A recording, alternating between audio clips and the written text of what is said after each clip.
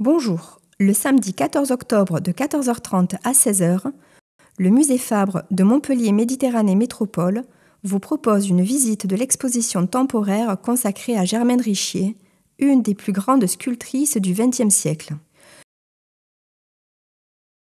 Nous découvrirons une exposition de plus de 150 œuvres réunissant sculptures, gravures, dessins et peintures. Formée à la tradition d'Auguste Rodin et d'Antoine Bourdelle, l'artiste s'affirme comme profondément originale et radicale. Elle travaille sur les thèmes de la nature, l'hybridation et la figure humaine. Nous vous attendons nombreux le samedi 14 octobre 2023 de 14h30 à 16h. À bientôt!